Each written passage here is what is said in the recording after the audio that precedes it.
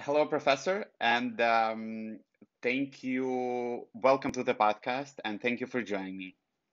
Um, if you could uh, tell a little bit about your background and your area of expertise. Sure. Um, so I work on understanding human language. I'm sorry, my dog is trying to come in. I'll be right That's back. fine. So I work on human language, and um, uh, I, I guess I've always been interested in language and languages. I was learning several foreign languages when I was a child. Um, and then in college, I learned that there is a field that specializes in studying um, how people produce and understand language and um, human cognition more broadly. And so I decided that that's definitely what I want to do. Um, and so then I went to um, graduate school um, at MIT to hmm um, learn more about human cognitive science, cognitive neuroscience. Um, and then, um, yeah, and then I postdoced for a few years. Um, and then I had a faculty position at Harvard Medical School. And then in uh, 2019, I moved to uh, MIT full time as a faculty member. And so, yeah, I don't know what level of detail you want. So, uh, um, why why you were attracted uh, to the language specifically as a neuroscientist? um, well, um, I mean, language is a kind of hallmark cognitive ability of humans. I mean, of course, all animals, um, uh, even very simple organisms, communicate in some ways, but humans have this incredible capacity to translate any abstract and complex thought into a string of words, uh, hmm which is quite um, a remarkable feat. Um, and um, yeah, and it seemed pretty uh, important to try to understand how that could be implemented. I mean, I'm driven by, I'm a basic researcher, meaning that uh, um, I'm driven primarily by questions in basic science. How do things work? hmm So it's kind of like um, trying to reverse engineer the mind and brain. Um, and of course, the hope is that eventually it will have clinical applications and maybe applications in education as well. Uh, but um, at the heart, like the reason that I, you know, do what I do is because I'm curious about how our minds are um, structured and organized, and yeah. So since you since you mentioned it, so um, what is uh, how does the language interact and affect the way our mind and brain work?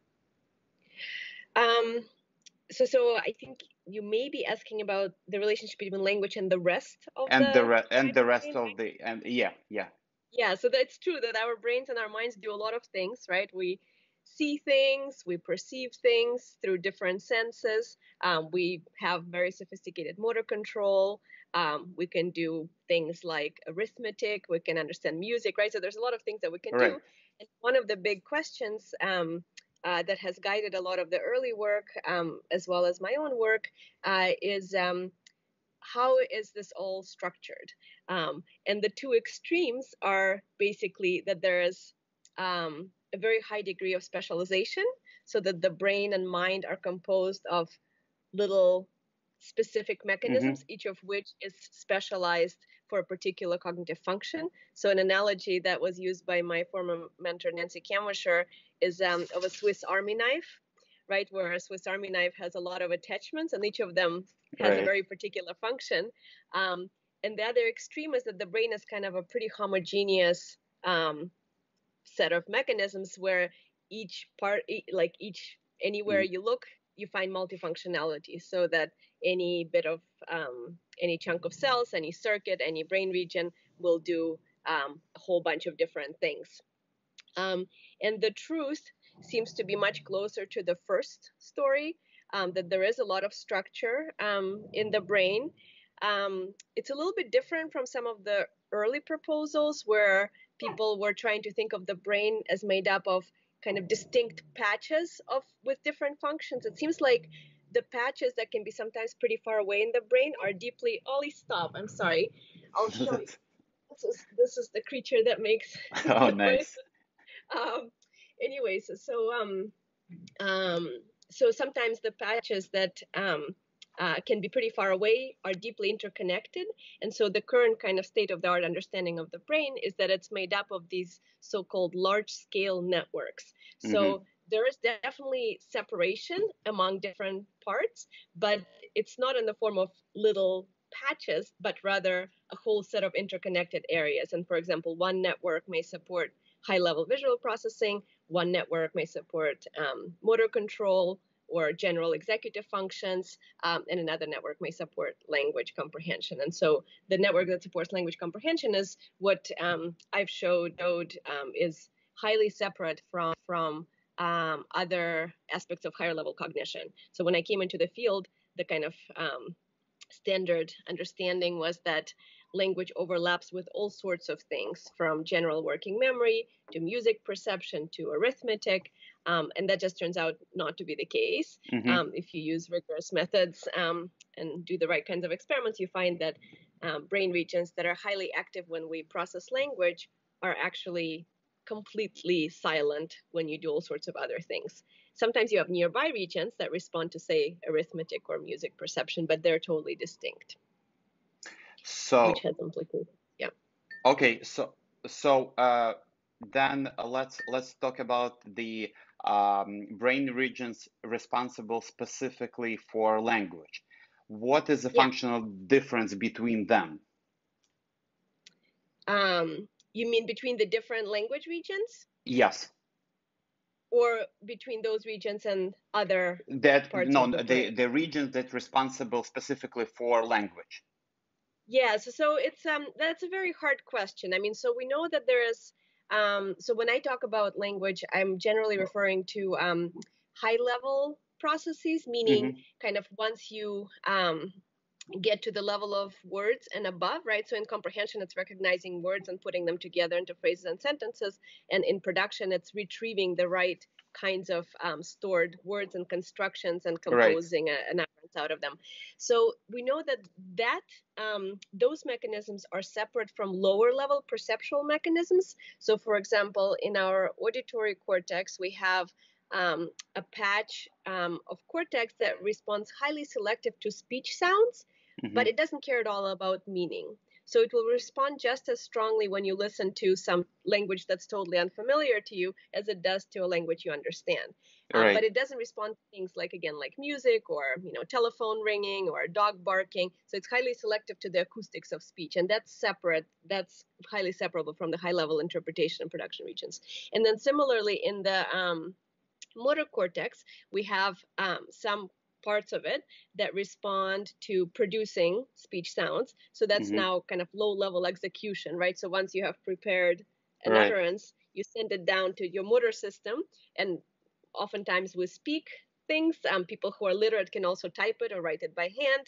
Uh, but that's kind of you know low level execution, and that's again highly separate from the high level language regions, which we think effectively store our knowledge of the language, store a set of mappings between the forms, um, like mm-hmm. words and constructions, and the meanings that they correspond to in the world.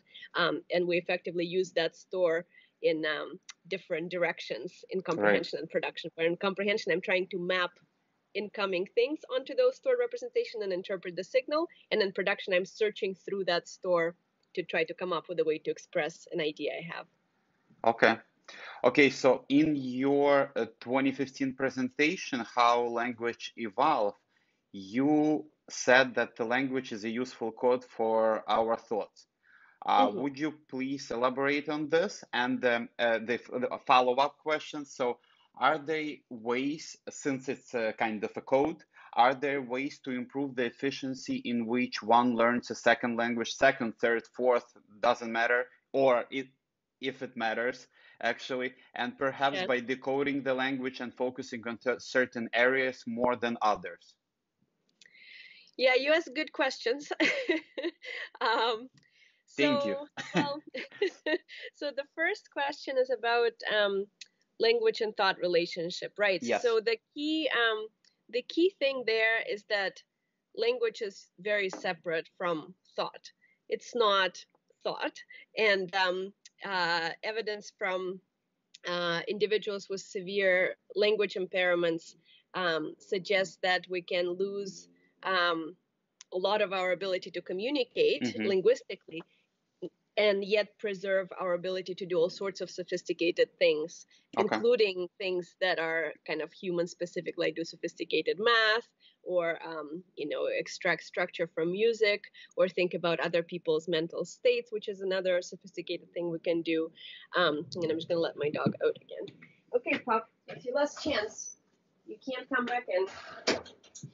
Um, and so um, like I said at the beginning, right? So one thing that humans do that any other animals, no other animal can do to the best of our understanding is um, we can take any abstract thought, no matter how complex and sophisticated, and we can find a way to describe it mm-hmm. in words. And that gives us the ability to talk to each other, right? So a lot of right. animals have some pretty sophisticated cognitive abilities, but they can't sit down and talk about it.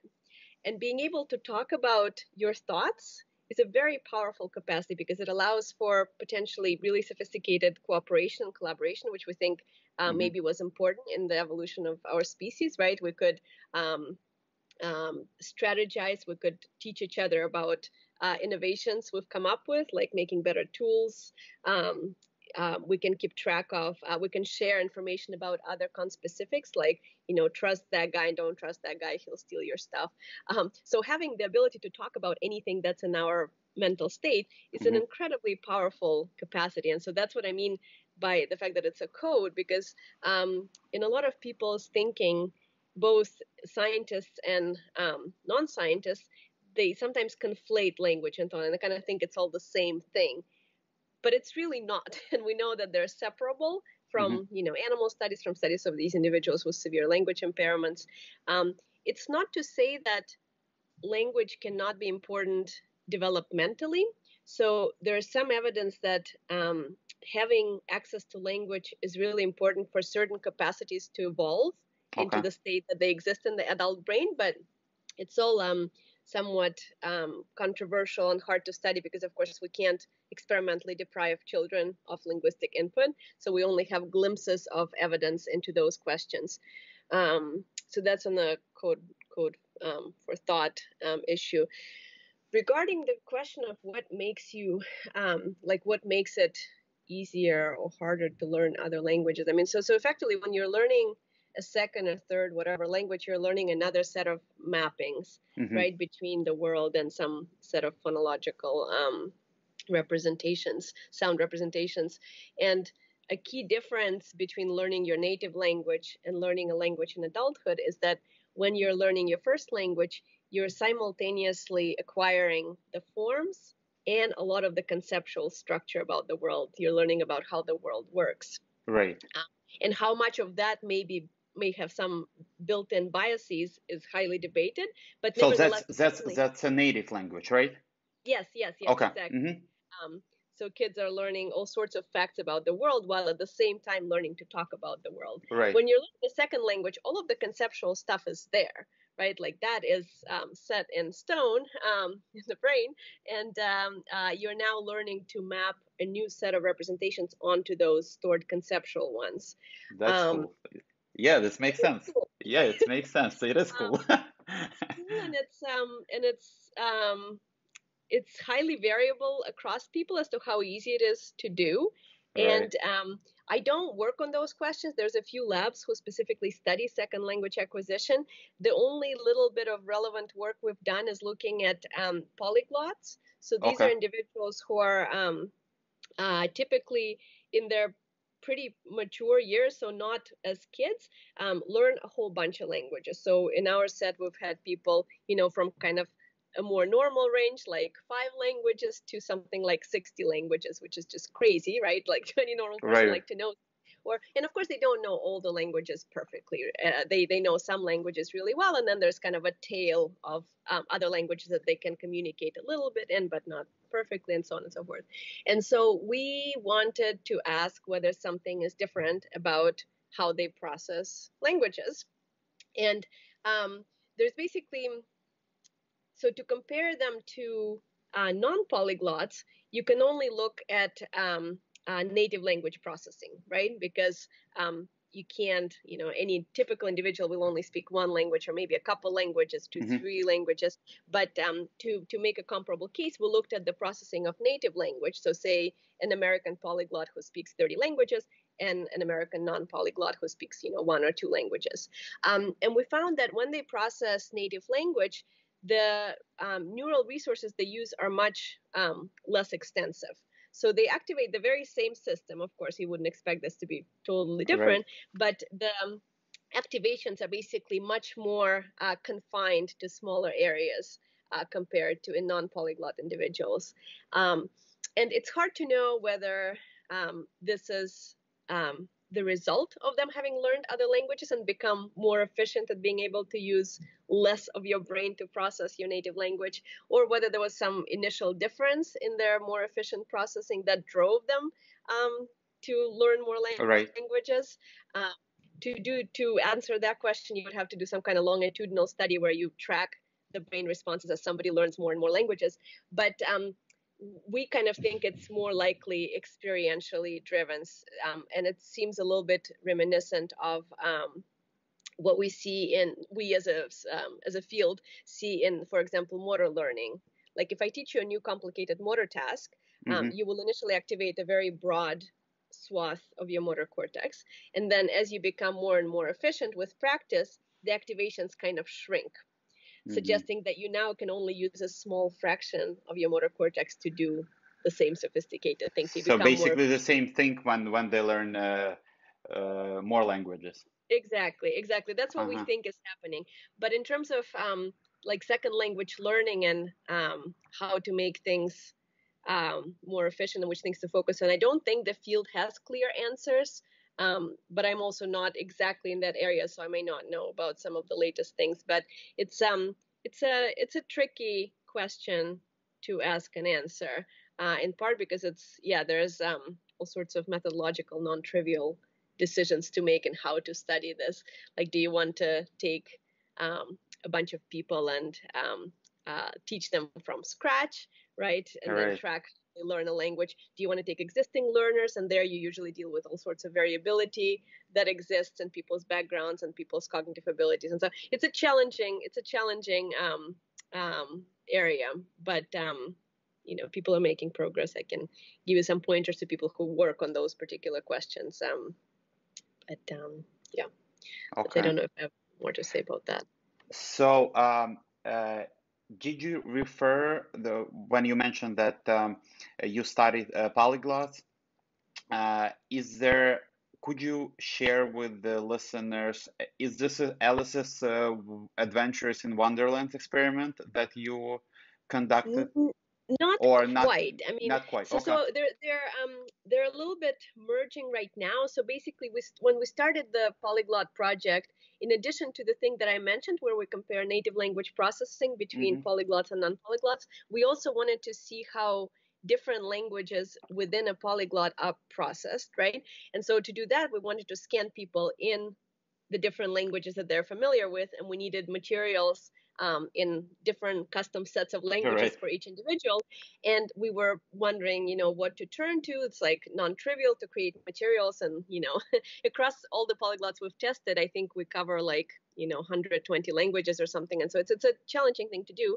And so at the time, we turned to an existing resource, which is um, the Bible corpus, um, which is basically um, uh, missionaries who have translated Bible stories to different languages as part of trying to convert people to Christianity. And that's a publicly available source. And so we initially used materials from that. Um, but um, uh, it's, you know, well, people may vary on this. I don't find those stories particularly enticing, and they're Right. also quite repetitive. Um, and so over time, we also wanted to study a broad range of languages um, not with respect to polyglots, just trying to ask, you know, is something different about Chinese people processing Chinese than English speakers processing English because languages differ in all sorts of ways. And so we ourselves started collecting a corpus of um, recordings of um, Alice in Wonderland, which is one of the most translated um, books.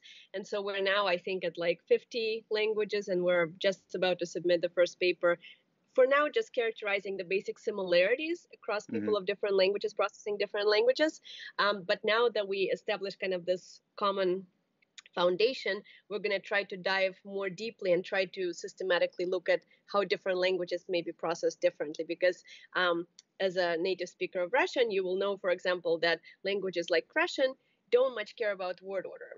Right? right? Whereas languages like English have very, very rigid word orders. And those are two, and so the way that um, Russian solves the problem of conveying information of who is doing what to whom is through rich mm. morphological markings, right? So you have to have an ending on a noun that right. has a particular gender, particular case, and then it has to agree with another element and so on. And so these are two very different strategies for solving kind of how to convey complex meanings, right? You can fix the order and say, okay, the first thing is just always the one who is doing the action mm-hmm. or something like that. Or you can say ignore order and I'll just tell you from the little endings and the words who is doing the action and you can switch them around in whichever way right? And so the question one one interesting question is whether people who speak languages like russian and people who speak english like uh, languages like english have some differences in how their language system operates. Nobody has asked questions like that before and so um, now that we have the tools to do this we'll hopefully once um, pandemic um, quiets down and we can resume data collection we can maybe start looking at some questions along those lines were Were you able to conduct any research while uh, this in this crazy times now? No, no. We stopped. So we mm-hmm. stopped mm-hmm. right in early March. We stopped all data collection. We've been focusing on um, analyzing the large amounts of data we have and mm-hmm. uh, writing papers, which um, has been okay. But for a lot of younger labs, I think it's been really challenging because um, you know data collection is a pretty critical part of um, doing science, and so um, yeah, it's um, interesting times we live in. Yeah, yeah, definitely. Um, in um, what does uh, what role does memory play in learning a new language, if if any? So that's a very good question. So you also, I mean, so there's also different kinds of memory, right? So there's mm-hmm. kind of long-term memory that just how well you remember information right. over time, and then there's this kind of working memory, which is how much information you can actively keep in mind and process at the same time. Uh, both of those are likely important. Um, one thing I learned, even though I wasn't asking this question, but one thing I learned um, when working with polyglots is that it seems like there is um, and probably any foreign language teacher will already know this just through experience of working with people seem to have um, to be very different at what they find easy and hard when learning a language mm-hmm. so for example um, some people remember words really well they may not be able to use grammar right in all all times and whatever and they may have a really bad accent but they just you know once they hear a meaning of a word they'll remember it. Other people are really good imitators, so they may have trouble remembering things, but you can say some something in a foreign language to them and they'll repeat it identically. It will sound just the same. Um, yet other people are really good at structure, so they can figure out how to put things grammatically in the right way, but they may not always know the right words. And so there's this large heterogeneity in which things people find um, easy and hard. And so memory is certainly a big part of it. Um, we do need to remember a new set of words when we're learning a language mm-hmm. um, um, and suppress the irrelevant meanings um, efficiently to access the right ones.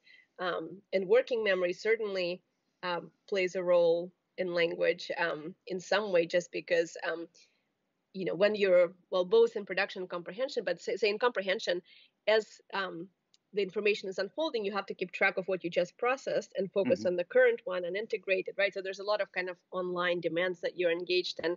Um, but um, beyond this kind of very general level of description, um, it's uh, there's still a lot we don't understand. Like, for example, to the extent that people systematically differ in these capacities, both long-term memory or the working memory, whether that makes them better mm-hmm. um, at learning um, new information, including languages.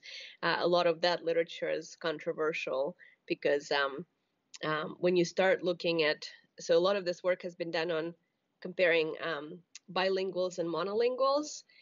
And there were some early um, studies suggesting that bilinguals have general executive advantages. So people who um, speak multiple languages are better at just kind of focusing on the most task relevant, goal relevant uh, bits and suppressing irrelevant ones.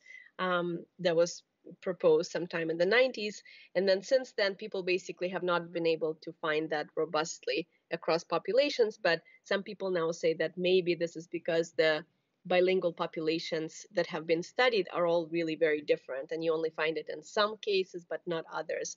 Maybe you only find it in cases where you have to actively switch back and forth between languages all the time but maybe not in cases like you know like i consider myself uh, pretty bilingual um, at this point but like i hardly ever speak russian so i don't have mm. that demand of having to suppress russians kind of suppress long term right. if you will um, and so I think a lot of work remains to be done to understand both um, how these potential differences in memory capacity affect um, the learning and processing of languages. There's interesting things to do there. Uh, uh, do you apply or, or, incorporate any techniques or concepts you learn from your research in your your routine or maybe with your kids or something? Um, it's a good question. I don't know. Um, uh, any recommendation though? Press yeah. I mean it's certainly look i mean so, so even um, even though a lot of the research about uh, bilingualism, multilingualism is controversial about like whether it makes your brain generally better. And there's mm-hmm. also claims not just that it helps you um, kind of as a mature, healthy brain, but there's some claims that it helps uh, delay dementia, for example, in old age. Right. But even even and there's also claims that it makes you a better um, um, kind of social agent. In that, if you're constantly keeping track like if say you have a bilingual household right say your mom speaks right. um, english and your dad speaks russian um, and as a kid growing up you have to always keep um, keep in mind the fact that you know one of them may not know everything right. about the other language. And so there is a claim out there that it trains up your kind of social empathizing capacity. So being able to think That's about others' thoughts. Yeah. And so, but even if none of this is true, just speaking multiple languages is a helpful thing to be able to do, right? I mean, so first of all, right now, of course, the, you know, there's, um, these kind of dominant languages that a lot of people in the world speak, like um, English and Chinese and um, Hindi and Spanish, right? I mean, where mm-hmm. you kind of, you know, almost anywhere you, tra- many, many parts of the world you travel, you'll be able to survive better. But also, you know, you can have the perks like reading a lot of the great literature in the original, which is, um, um, you know, can be fun. Um, and just, yeah, knowing another language is a helpful thing. I mean, I think it's just kind of not really controversial, even if it doesn't make you better mm-hmm. um, at anything that, else. It's just that, a helpful skill to have. For sure, for sure. And so and I'm not following that advice because I'm not teaching. So I have a three year old and I should be teaching her Russian. And I'm just not because I just find that my husband doesn't speak any Russian. And so it's just, um, it's an effort. You know, you have to make a um, concentrated effort to um, um, to do that to speak constantly I, constantly yeah, right? yes yeah. yes and so I, i'm gonna try i mean I'm, I'm i keep i keep um keep telling myself that i should try um uh and yeah, hopefully eventually I'll do that. But um, it's been so far she's very good at speaking English. I I would like to read a quote by um, by Tom Lubbock uh, from from your presentation actually, which I found sure. very powerful. And um, he was an art critic of the Independent who had passed from a brain tumor. Uh, That's right. Correct me if I if I'm wrong. So and. Uh, uh, what he said that uh, my language to describe things in the world is very small, limited. My thoughts when I look at the world are vast, limitless, and normal, same as they ever were. My experience of the world is not made less by lack of language, but essentially unchanged. Mm-hmm. With that in mind, what do you think about Elon Musk's claim that his company Neuralink is developing technologies that will enable people to transfer very complex concepts from person to person without using a single word and almost like a files being transferred and downloaded into recipient any yeah, thoughts I think, I think that's pretty unlikely. I mean you know we he um, said he said five five to ten years. Yeah yeah well good luck to him but uh you know we we're um like we're working with some of the best technologies available to be able to decode uh, people's mental states, which is what you need, which is a key prerequisite for translating it to Right. um, like I mean the key challenge is to get the concepts out of somebody's head. Like transferring them to another head is really pretty easy. You can just um, you know tell them something like i mean it, it's, it's that's kind of the reason we language is a shortcut for that basically but to to extract mental representations from somebody's mind is non-trivial i mean we we had um we done some work where um, we train um, a language model so these days deep learning which are basically connectionist networks um, that have many many layers they've gotten really good at some hmm language tasks. And so we've um, we've done some work in the past and doing it um, more now where you can train uh, uh, a language network on some um, language corpus and then try to use the representations extracted from those networks to um, neural representations to try to um, come up with a way to predict neural responses for any new word or uh, sentence and um, uh, you know you can get something out um, under some pretty controlled um, circumstances. You can recover words, you can recover sentences, but um, this is all uh, kind of a very best case scenario where uh, in in most um, uh, this is in a situation where we present people with linguistic stimuli and hmm then uh, we try to decode the images that they form when processing those materials. But thought is not um, all verbal. And in fact, people argue as to how much, uh, when you're thinking to yourself, some people have this perceptive little voice in their heads, right? They're kind of Right. talking things. Other people say they don't know what that's about.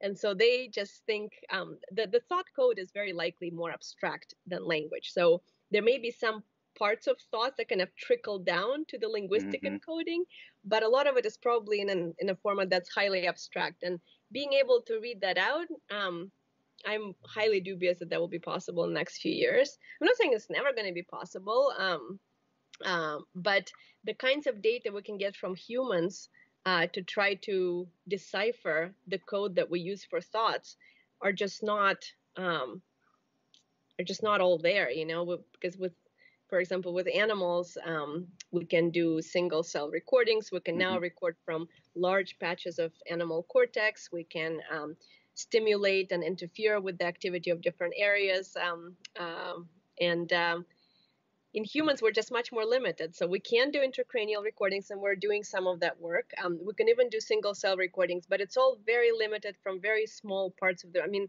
it's it's just not. We just don't have the kind of data I would argue that would be needed to kind of to recover a full code of um, how our thoughts might be implemented in neural tissue. But um, you know, it's it's always good to have engineers on board, um, and so if they come up with some cool innovations, that's that's great. I mean, we work a lot with engineers um, as well in this work where we relate um, language models to brain data. Um, but uh, you kind of need um, neuroscientists and cognitive scientists as well to make sense of um, things and to be able to guide engineering in the right way. But I don't know why you would want that also. I mean, that's so like it's not very hard to talk. It's kind of enjoyable. Why would I want to communicate? The thing is, I, I believe his argument is that um, sometimes it's hard to convey um, pretty complex um, concepts or even uh, maybe even feelings or something uh, like a hundred percent uh, in, in order to to avoid um, miscommunication or Ambiguity, yeah. misunderstanding yes so this kind of i think there is uh, i don't know like uh, i describe this uh, case and and i transfer my thought and you're completely have the aligned, yeah. same understanding that i i thought about this case I or gotcha, something I gotcha. Yeah, yeah.